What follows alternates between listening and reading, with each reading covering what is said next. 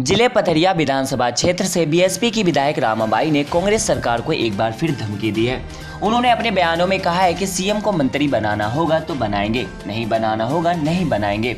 लेकिन हम तो मंत्री के बाप है, हमने ही ये सरकार बनाई है। ये बात रामाबाई ने मंगलवार को एसपी ऑफ़िस के पास पत्रकारों से बातचीत के दौरान कही। जिसके बाद रामाबाई की ये वीडियो सोशल मीडिया पर काफ़ी ज़्यादा वायरल हो रहा है। बता दें कि रामाबाई कमलनाथ सरकार से नाराज़ चल रही है। उन्होंने फिर से कमलनाथ सरकार पर निशाना साधा है। उन्होंने बीएसपी के दोनों विधायकों के लिए मंत्री पद की मांग की है। रामाबाई ने कहा है कि मध्य प्रदेश में कांग्रेस ने बहन जी की मदद से सरकार बनाई है, इसलिए हम अपने दोनों विधायकों के लिए मंत्री पद की मांग कर रहे हैं। हम कर्नाटक में देख चुके हैं, वहाँ जैसी स्थिति हम यहाँ नहीं चाहते हैं। अगर उन्होंने हमें मंत्रिमंडल में शामिल नहीं किया तो हम इसका विरोध करेंगे। इससे पहले भी रामाबाई ने कांग्रेस पर निशाना साधा था। बता दें कि विधानसभा सत्र के दौरान उन्होंने कहा था कि कांग्रेस पार्टी के भाव बढ़ गए हैं।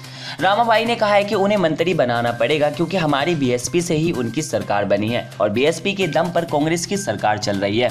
इसलिए कमलनाथ को बीएसपी को पद देना पड़ेगा और नहीं देंगे तो समझ लेंगे। उनकी मजबूरी है।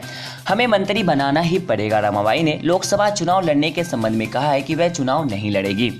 परिवार से किसी को चुनाव लड़ाएगी। इसके आगे मायावती का जो आदेश होगा, उसका पालन करेंगी। Bureau report, national Dastak.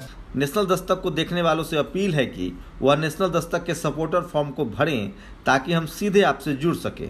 National Dastak की आपसे गुजारिश है कि अगर इसको बचाना चाहते हैं तो नेशनल दस्तक को सब्सक्राइब करने के लिए रेड कलर के सब्सक्राइब बटन को दबाएँ, फिर बेल आइकन की घंटी दबाएँ। नेशनल दस्तक को बचाने के लिए बहुत ज़रूरी है कि हर खबर को शेयर करें, लाइक करें, कमेंट ज़रूर करें।